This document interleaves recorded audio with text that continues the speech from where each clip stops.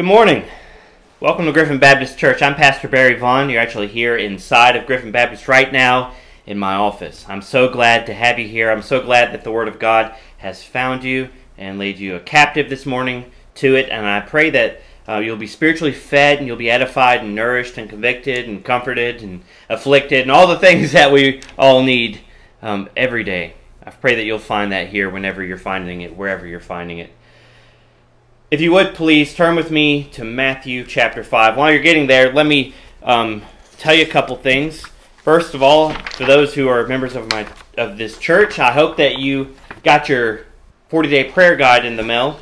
I also hope that um, you're ready for Fall Festival, which is right around the corner. It'll be here before we know it. If you want to um, work a table at Fall Festival, please get in contact with Laura McLean to do that, and that'll be on a Saturday, October 31st. There's an advertisement we put up about this at the beginning of this video, so you can go back to that at the end of it. Just go all the way back to the beginning, and you can see that advertisement for any more information.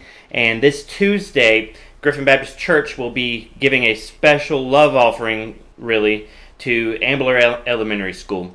We are taking up a love offering to buy each one of those teachers and the staff up there a cup of coffee from Coyote Coffee. So we're getting to help a local business and we're getting to bless these teachers. Normally we would give them food, cakes, pastries, uh, but the times that we live in with COVID still going around, uh, just not able to do that. So based on a, a good sound request by a staff member up there, we're going to buy them teachers coffee and bless them for all that they do. I got to speak to so many of you this week, and it was such a blessing to speak to so many of you, and it was such a blessing to hear how many of you were so thankful of the ways that we were doing things at this time in the church, keeping everyone safe.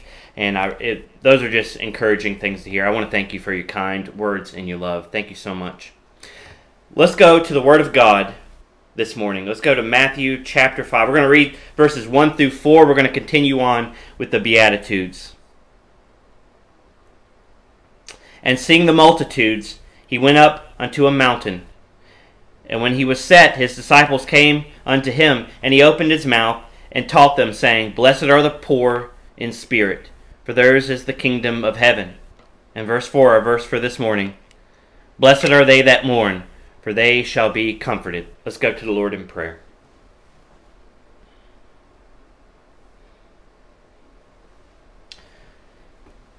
Father, thank you so much for your word this morning. Father, thank you for yourself. Thank you that you've given so much to us, namely you. Lord, you're holy God, you're merciful God, you're a just God. We thank you for everything that you are to us this morning. Lord, we thank you for your grace and your mercy and your abundant blessing toward us as your people. You're so much better to us every second of the day than any of us deserve, and we acknowledge that. We acknowledge our sinfulness, Lord. We acknowledge your holiness. Father, continue to conquer sin in our lives, continue to mortify it, continue to make us holy, sanctified people. And Lord, we do look forward to that glorious day where we're done with this body of sin and will be glorified. We're ready for that day when that thorn in our flesh will be taken taken away, and we can be perfectly in the image that you've created us to be um, before the fall. Lord, we so look forward to this. Father, I pray for all those listening to this message this morning. I pray that you would work through the many flaws I have in communication and in myself, Lord, and that you would allow me to just make your word clearly understood, clearly perceived, Lord. And I pray that even they wouldn't just be clearly understood, but that your spirit would be at work in it, through it, and all around it for the hearers, so that they may be pierced through with the sword of the Spirit, Lord, this morning. They may be people that could mourn over their sin and be comforted. Father, be with us now as we seek your word and its meaning. We ask this in your holy name. Amen. So the Beatitudes this morning find us looking at something is difficult. We're going to look at, at mourning. You know, we live in a culture right now that is not comfortable with mourning at all. In fact, I would say that we mourn mourning. Our day puts a premium on laughter, not on bellowing. And it puts a premium on smiles, not frowns. In this beatitude, Jesus points to mourning being godly. You need to be ready to examine yourself this morning. Even in Scripture, we never read of Jesus laughing. Now, that's not to say he never did laugh. That would be a logical fallacy. It'd be to make an argument based on silence. We're not saying that this morning, but you never read of it. It was not important enough to mention. But we read of him mourning and crying constantly. And you even see in the Old Testament he was prophesied to be the man of many sorrows. His disciples write in their epistles of even for us as Christians the serious nature of the inner life of a Christian, a very serious nature. Christ is making his followers kings, not clowns, and he's making us sheep, not hyenas. Mourning is essential. It is an essential aspect to entering and continuing on in the kingdom of God. And you see that in the Beatitude this morning. It's not optional, it's not trivial. Mourning is for the godly, the repentant, for the spiritual. Do you hear me? Godly sorrow has never, not once, in the Spirit of God has it ever been a wasted emotion. Ecclesiastes chapter 7 verse 2, Solomon says, what? It is better to be in the house of mourning than the house of feasting. And then one verse later, in Ecclesiastes chapter 7 verse 3, what does Ecclesiastes what does he say there? Sorrow is better than laughter. For by sad countenance hath the heart been made better. Now that's Solomon saying that the man who mourns has hit a great truth. Solomon's point in Ecclesiastes, and need I remind you, aside from Christ himself, Solomon is said to be the wisest man to ever live. This is an immense wisdom. It's just like we're reading here in the Beatitudes. It may seem backwards from our culture and our day and the way we think. How could how could crying be, be better than laughing? How could this be? This is wisdom. This is wisdom. And it's pushing up against us this morning. Solomon's point in Ecclesiastes that is that through death Solomon says that we find some of these wisdoms. We find the wisdom of our finite nature, our creaturely nature. We find our temporal nature in such wisdom as looking at these things. We find that the wages of a life of sin is what? Death. Solomon sees funerals as great classrooms. That's what Solomon sees. And he sees mourning as a great schoolmaster for the inner saint of the inner soul of the saint. And in the, so in the text this morning, finds us not so much talking about mourning over the death of loved ones, while there is comfort given by God for that, for sure in Scripture, this is not what it's talking about here in this beatitude. So the context find its meaning in everything that precedes it and everything that's around it. So it finds its context in what we just looked at last week finds its context in the beatitude of bankruptcy. The spiritual nature of this mourning is directly related to how a person is broken in light of their poverty of spirit. This is what it's connected to. This is this is the context. It's connected to our seeing and mourning our beggarly state, the very beggarly state of our soul, the deep debt of our depravity.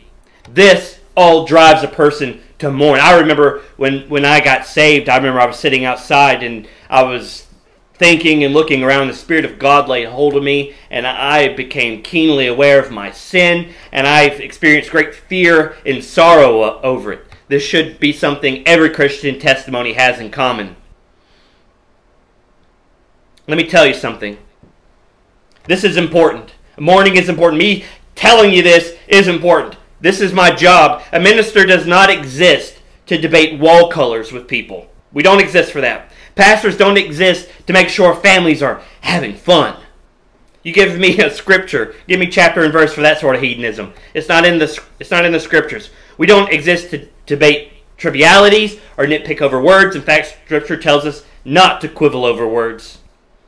We exist as tools of the Holy Spirit through the word of God to shepherd the people of God from here to there, from this city to the next city, from this life to eternal life. Look, me myself, I don't know what some churches are used to, but for me, at least, I'm not a pay, payroll prophet. I'm not a payroll prophet. It seems like a lot of churches these days in the West want to make a pastor a payroll prophet. And we'll put him on our payroll we'll pay him. And so then we'll be able to control him. And he'll do my bidding. And he'll speak my thoughts. And he'll support my opinions. I am not that man. I am not that man.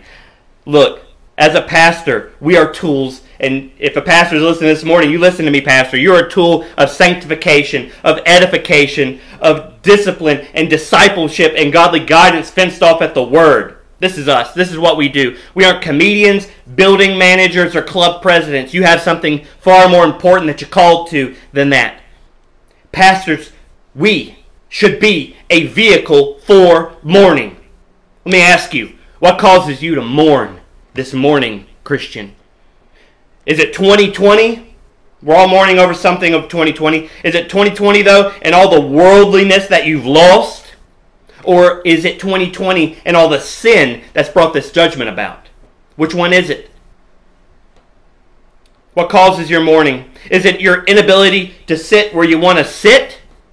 Or is it your inability to hopefully stop committing the sins that you're supposed to hate? Which one is it? Which one? Are you finding comfort in the material or in the spiritual, in the temporal or in the eternal? You can't be at both of these tables at one time. Come to the table of mourning this morning. Come there with me. Come there with us. What does Jesus mean by mourning here in this text, though? I wonder. You're reading this text, this should be a question that you have. What does he mean by it? There are nine different Greek words for this one word mourning in the English. There's nine different ones in the Greek, and they create this sort of spectrum of different degrees of mourning, from the mild to the most intense. This one that Jesus uses here is the most extreme form of it.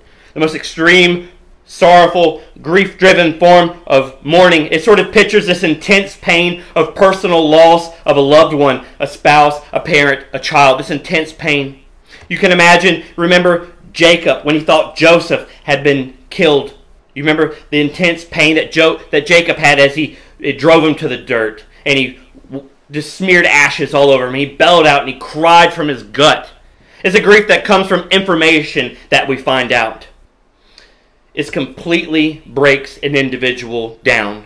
It shatters their hearts and minds. It produces tears upon their cheeks every single time. It brings their knees to the dust and it causes the proud head to bow and to hang low. Jesus is saying that the kingdom those who are saved enter it this way. This is what he's saying. This is how you enter the kingdom broken, sad, and tearful, and mourning. Over what, though? What are we mourning over? Sin and our sinful state. This is how we enter. You don't strut into the kingdom. You don't just poke that chest out and throw them shoulders back and just strut into the kingdom. You crawl into it. You crawl into this. You don't just come in with a proud head raised. You come in with a humble head bowed. You don't just come in laughing lightly. You come in mourning. Scriptures are clear. This may seem backwards to you, but this is exactly what Jesus is teaching. You may say, well, I was saved when I was five years old. Preacher, listen, I, was saved when I was five. I went to a Billy Graham revival when I was five years old, and I got saved, but I never mourned sin a day in my life. Yep. Mm hmm. And that's why you've never been saved. That's why you've never been saved. Because Jesus taught salvation was like this. As a minister, this is exactly what I look for and I examine when talking to people about salvation. Is it's not just some sort of light smile and laughter and hey, I just want to make Jesus Lord of my life. I want to make Jesus God. Can I get baptized? Where is the grieving? Where is the mourning? Where is the tearfulness over sins committed against this God that you supposedly love? This is not a game. This is not a game. this is not a feel good exercise. What makes sin so awful? What makes it so why why is it something we should mourn over? You know, we look at the text where Jesus is dying on the cross and to think, you know, our culture has this really sort of physical view of pain and grief and everything, we forget that the biggest painful experience, the largest, the most intense painful experience that Christ experienced on the cross was becoming sin, becoming sin on our behalf and then being treated that way by the rest of the Trinity. And we think, how could that be more painful than crucifixion? You know, our very questioning of how that could be more painful to Christ, his very the very fact that you see him grieving over it the night before in the garden, this is what he's struggling with. It's not a Roman whip or a Roman nail or a Roman tree. It is becoming sin. It is so contrary to his character, so contrary to his very nature eternally, something so contrary to him, the very thought of it is painful. The very thought of it. We're so comfortable with it, we don't understand how it could be painful. This is a problem for you and I. So let's stop and let's look. Let's think about what makes sin so terrible. Let me ask you some questions so we can flesh this out. What makes Satan so awful? Sin. What found what has turned angels into demons? Sin. What has brought the thorns from the ground? Sin. What killed every single prophet of God that you've ever read about? Sin. What has caused every failed marriage? Sin. What about every church split and church critic that tries to tear a church apart? Sin. How about every broken relationship? What does that all broken relationships have in common? Sin. How about every abandonment? Sin. What has caused every death on this ball? Sin. What caused even the very betrayal of the most loyal, worthy being in existence, namely God? Sin. What caused the blood of God to fall and puddle upon the ground? Sin. It has torn apart every nation, it has damned and hurt every single person. It is enslaved by nature every single human being. And it has destroyed angels and will eternally destroy and damn men. And you engage in this practice daily in thought, word, and deed. And you think this may be nothing to mourn over? You may be deeper in it than anybody. Sadly, the church right now in the West, though, like Pharaoh, hates the plagues totally hates the plagues, but not the sin that causes it. it what this church in the West wants to return to normal comfort, but could care less about the discomfort of holiness that we're called to as Christians. Take an excursion with me in your text. I never tell Kent about these excursions, by the way. I like them to catch him off guard too, so he's got something fresh on Sunday mornings that he can enjoy. Take an excursion with me to Luke chapter 7. This is a lot of reading here, so I want you to be able to go back and read over this and think about it on your own time. But Luke chapter 7, verse 36 through 50, I think you'll recognize that account of Jesus in the house of Simon the Pharisee. He's there, dining, having uh, a good evening, conversing with one of his enemies, and then in comes this sinful woman and this sinful woman comes bringing a gift of oil. She falls down at the feet of Christ with tears, literally drenching his feet in tears, wiping her hair, which is the glory of a woman, wiping his feet with her hair. You see that. And then and then Simon is questioning this whole thing and saying if he was a prophet, he'd know who was touching him. You remember? And Jesus tells the woman to get up and go in peace. Let's let's examine this. Let's examine this. Because like I showed you last week in our look in our looking at being poor in spirit, this isn't just a one-off in the ministry of Jesus. And this mourning that we have in spirit is not just a one-off teaching here. So let's look at this. This is a woman whose reputation precedes her. She is known for her sin far and wide. Simon knows exactly who she is. And how does she come to Jesus? How does she come to him? Does she run and jump in his arms and wrap her legs around his waist? No. Jesus is not her boyfriend. You listen to me, women. Jesus is not your boyfriend. She doesn't even come to him like this. Does she come proudly, chest poked out, shoulders through back, strutting up to him? Hey, Jesus, hand extended, shaking his hand. Hey, how are you doing? My, my name, my name is Barry. How are you? No. You listen to me, men. This is not a business transaction. You don't even have anything to offer. You're not a businessman with anything to offer, and he's not a businessman either. He doesn't come in this. She doesn't even come in this way to him. Does she just come to him lightly, jokingly, say, "Hey, Jesus, good to meet you. Let me tell you this joke I heard recently." No. Does she come to him angrily? No. How then does she come to him?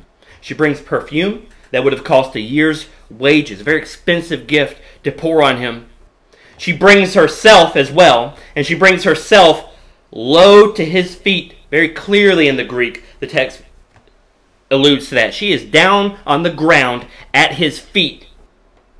May I say, the Lord has never crushed a single soul that has ever been found at his feet. That's the safest place to be. And she comes with tears, literally drenching his feet with tears. What do you think she was crying over here? The gossip that was going about around about her? No. Why was she mourning? Because of her sin. Because of the sin that she had been committing. She's mourning her sin. This attitude and this approach is exactly what Jesus is preaching in this beatitude this morning. This is the evidence of regeneration. Such a broken, contrite, mournful spirit over sin is evidence, is an outward working of an inward spirit of God. This is clear. This is an evidence of a blessed person, according to Jesus. The church in America is in a sad, sad state where most preachers get congregants that look for flaws like Simon does in your text here in Luke, rather than people that come to them like the woman weeping over sin. I was talking to a, a pastor yesterday and he was so heavily burdened, and I really understood it. So much criticism pastors are getting these days. He said, Man, I just got to figure out how to keep it quiet in my head so that I can do my job and I can preach the word without letting these people get in my head and not allow me to do the work of God. We got a lot of Simons, not a lot of these blessed women. We need more of these blessed women. But listen, most people don't cry over personal sin because they're not battling it. They're not battling it. They don't hate it. They have never seen it for what it is. Let me show you something I think, I don't know of any more beautiful example of what sin is than what John Piper said. Let me show you what John Piper said that sin is. John Piper, Dr. Piper says, Sin is, and listen to this, the glory of God not honored, the holiness of God not revered, the greatness of God not admired, the power of God not praised, the truth of God, not sought, the wisdom of God, not esteemed, the beauty of God, not treasured, the goodness of God, not savored, the faithfulness of God, not trusted, the commandments of God, not obeyed, the justice of God, not respected, the wrath of God, not feared, the grace of God, not cherished, the presence of God, not prized, and the person of God, not loved that all still lives in you and I right now. So let me ask you, how does not that not daily break you? How does that not break you? How can you love God and that not break you? Let me tell you something, church. If you can't get broken over sin, wherever you're watching this from, or in a church parking lot, it will never break you out of in a pew. It'll never do it. Because pews do not make converts. John chapter 16, verse 8 the very one who comforts, that you can see in that text, is the very one who convicts of sin. The gospel of mourning by the Spirit should be something that comes spontaneously and freely to us, not anything that somebody forces us into. And it should be spiritual. We should mourn more over sin than suffering. We need to examine ourselves and see if this is true for us this morning. The Holy Spirit isn't just the person that just pokes, just pokes at the heart. He's not just some weakling poking at the heart. The Holy Spirit pierces with the sword and drives straight through to slay the old man, and he puts to death the old nature of sin, and he cuts off lying tongues, and he breaks proud knees right at the joint, and he smashes idols of wood, clay, and brick. The Holy Spirit is a mighty person and a warrior. In our mourning with him, we find comfort. In that mourning with Him, we find peace as it's extended to us, and we come into the peace of God. The Pharisee and the prostitute, one washed Jesus' feet, and if you look at that text later, I encourage you to do that in your own time. One didn't wash his feet at all. One mourned their sin, one exalted themselves. One was worldly and outwardly religious, and the other one was outwardly and openly admittedly sinful. One argued, one adored. Which one are you this morning? There is no in between here. the mourning, crying, sinful prostitute left in peace, comforted, and forgiven. You see that at the end. Christ says, Go in peace. The happy, comfortable, religious hypocrite Simon was under wrath and may still be under wrath right now if he never repented. The Holy Spirit is even called the Paraclete in Scripture. It's called the Comforter. He is the one that comforts. The one that convicts is the one that comforts us. We are convicted so that we may be comforted. Every child of God, listen to me. Every child of God, if you're a child of God, under the eyes where your tears have just streamed out over this sin, there's blood smeared on your face from the very hand of God, wiping those tears away. You have a blood smeared under your eyes from wiping the tears away from your face. That blood came at the price of sin, by the hand of sin, for sin.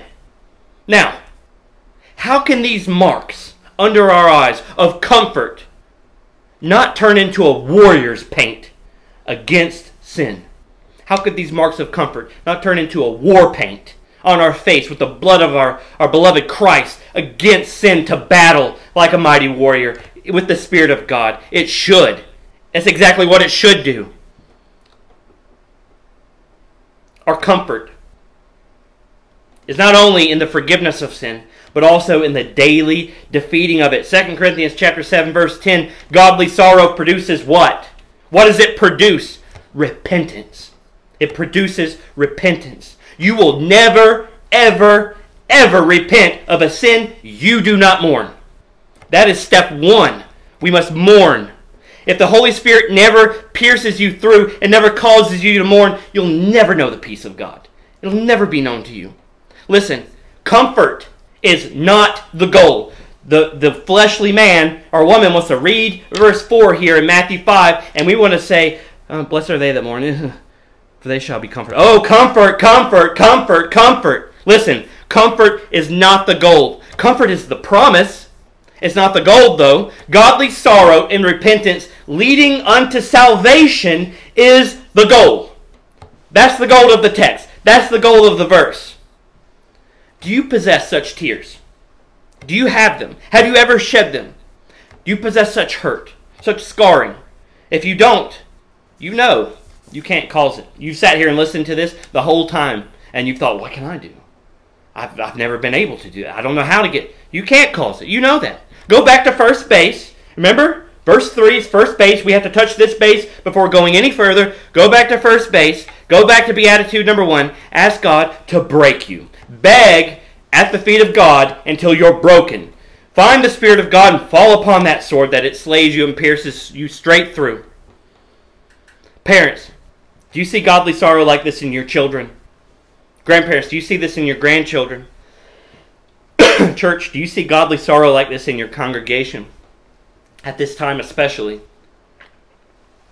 Christian, are you trying to put death to sin? Are you mourning over it? Does it even matter to you? Does it even matter? Do you even care? These are questions that must be asked and answered by this text. The text stands in front of us. The words of Christ stand boldly in front of us today, and it makes us answer this. The sin that if this sin doesn't end until we're glorified, then so too our mourning against it should continue even today, even in, as we continue in the kingdom. So, beloved, let me tell you in closing, let me admonish you to let your comfort, let your mourning find comfort in Christ, in His spiritual wealth, and His sacrifice. Your sins, like mine, they may stack high, but let me tell you something. Mount Calvary stands higher this morning than your sins. Mount Calvary is higher up. Your sins may be cold and dead, but the blood of Christ is warm and living, and it is still fresh this morning for fresh sins this morning. You come and drown them in the pools of blood at the foot of the cross. Find comfort in His promise and in His resurrection. The bride of poverty, which we were, marrying into Christ, will find wealth in her groom. Praise God. He counts and collects every one of these tears of mourning. They are as precious as myrrh. They are blessed tears of the righteous, and they mint diamonds in our eyes.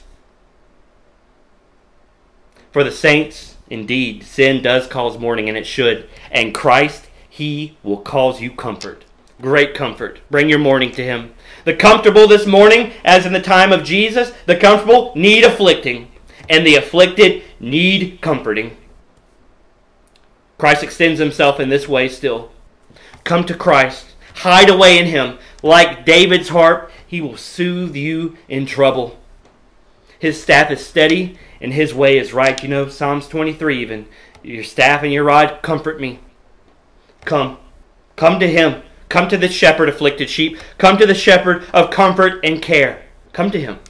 He still extends a friendly invitation to you this morning. Here, at the feet of the shepherd, the law is going to find rest. And wrath is put away for grace. And comfort will always, eternally abound in him. Let's go to him in prayer.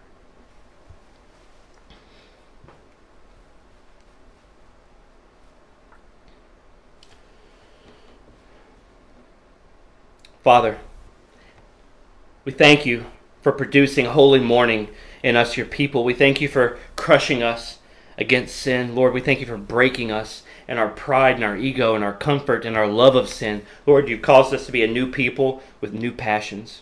Lord, if there's anybody within a shout of my voice that does not know mourning over sin, that does not see sin rightly, that does not feel correctly about it, and still loves it and hates you and your righteousness, Lord, break that person. Send your sharp spirit and its sword to drive through them.